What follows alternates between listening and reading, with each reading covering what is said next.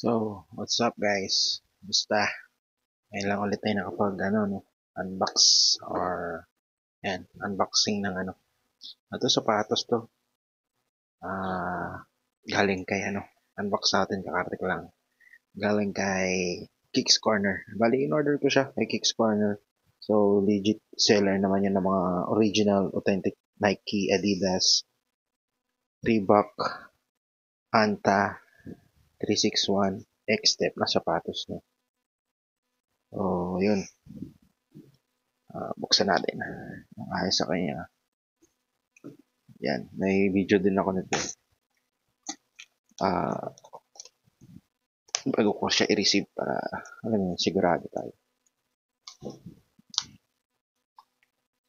Tapos lagay ko, ayun lang guys, no, mga gusto nyong bumili sa kanya, order. Tsaka, ato, okay to, ano, bali, mark, uh, yung sapatos niya mura no? pero original yan, authentic din.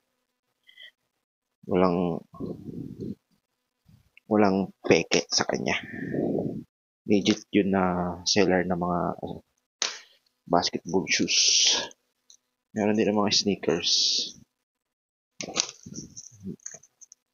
Bali, ano to? Nike SB Dunk yung order ko. High. May gusto talaga akong kulay. So, not available yung mga size. Kaya, ito na lang in order ko. Surprise lang. Baka nyo. Nakikita nyo pagka-open. Wait lang ha. Talagang pinasecure ko to kasi alam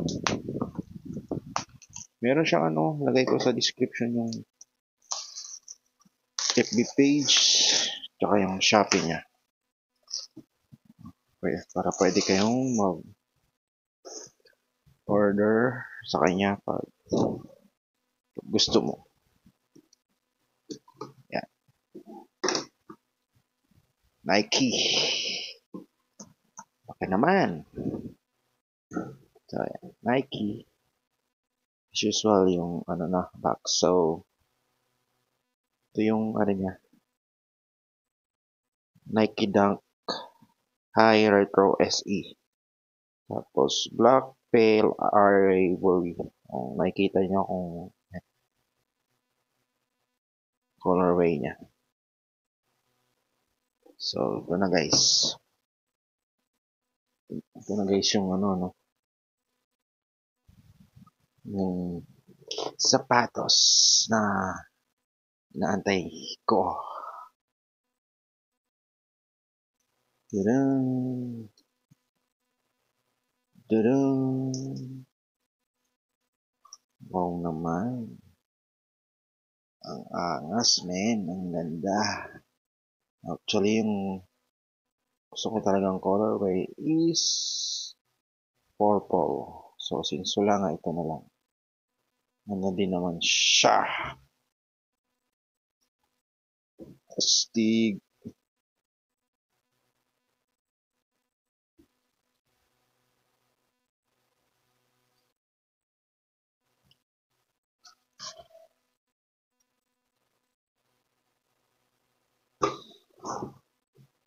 Second one. So, ayan lang guys. Ganda, malinis.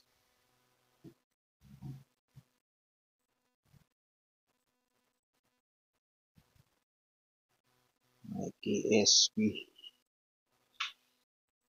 Higher. Retro.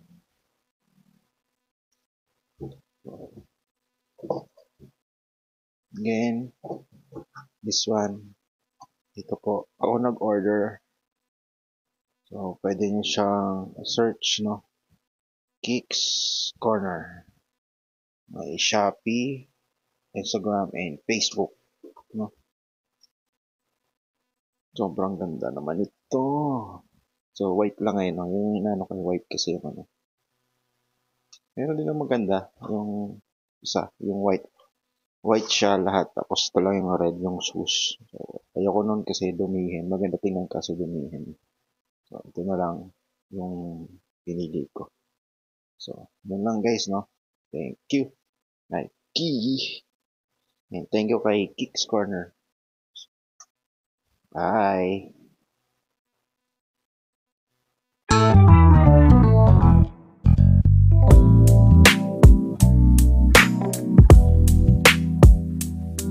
Bye.